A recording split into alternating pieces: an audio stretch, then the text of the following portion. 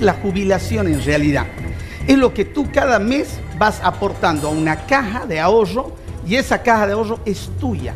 La propuesta nuestra es que el momento que te jubiles, que hoy día son 57 años la edad de tu fin, el momento que tú te jubilas, ese momento te puedan entregar el 50% de tu jubilación, de todo tu ahorro. Es una caja de ahorro. Hoy día, ¿qué hace el gobierno? De manera exagerada, pone como si los bolivianos vamos a vivir hasta los 110 años. Te jubilas a los 57 y te comienza a pagar un poquitito que es la miseria. Los bolivianos entran en la pobreza el momento que se jubilan. El gran problema de la jubilación es que el gobierno agarre el dinero, se la da a los bancos. Se la da a los bancos al 3%. Eso no lo dice nadie, al 3%. ¿Y qué hacen los bancos?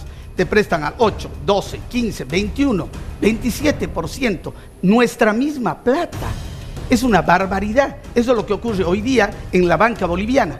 Nosotros lo que decimos es que el 100% de lo que tú has aportado en tu vida te lo deben entregar.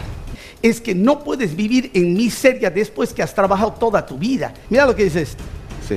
Un hombre que ganaba 15 mil bolivianos pasa a ganar 3.300 bolivianos. Tenía una vida de 15 mil bolivianos, al otro día gana 3.300, es decir, comienza a ser pobre. Los ¿Qué vas a hacer con la rentabilidad? por eso, los jubilados cuando dejan de trabajar se vuelven pobres. Te doy un segundo ejemplo. Un economista que gana 35 mil bolivianos pasa a ganar 5 mil bolivianos. Entonces, ese hombre tenía un nivel de vida y al otro día gana 5 mil bolivianos. ¿Qué vas a hacer? Tienes que generar utilidades en, espacios donde generes rentabilidad. ¿Qué rentabilidad puede ser el 3% que te da la banca?